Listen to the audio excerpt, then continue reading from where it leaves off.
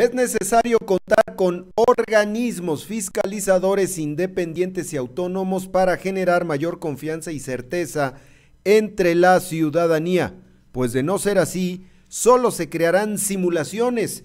Esto dijo el gobernador del estado, Silvano Aureoles, al encabezar la conmemoración del Día Internacional contra la Corrupción, evento que se llevó a cabo en, en la Casa de Gobierno.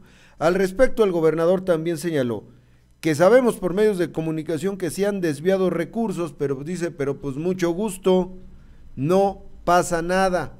La auditoría en este momento también lo dijo fuerte.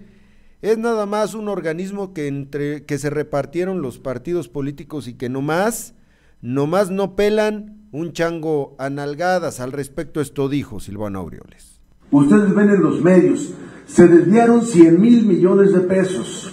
Con mucho gusto, felicidades, ya supimos, ¿sí? ¿A dónde se fueron? ¿Quién los desvió? ¿Para qué los usaron?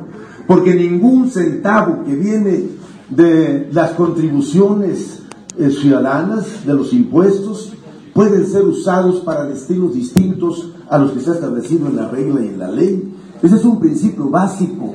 No se pueden usar los recursos públicos para fines particulares o para beneficio personal de los servidores públicos o los funcionarios públicos.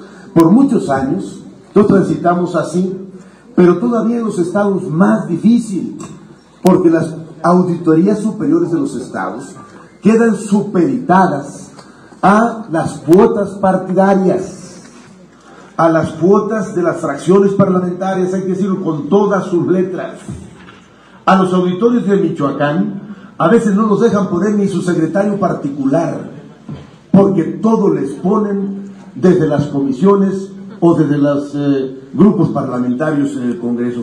Eso es instrumentos para la transparencia y son las herramientas para tomar decisiones. Pues claro que no.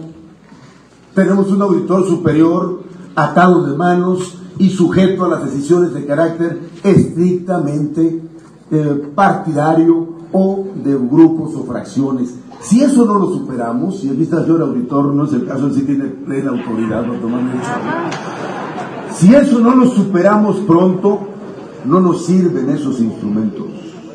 No nos sirven esas instituciones y nos cobran, nos cuestan cara, le cuesta cara a la sociedad y no nos sirven.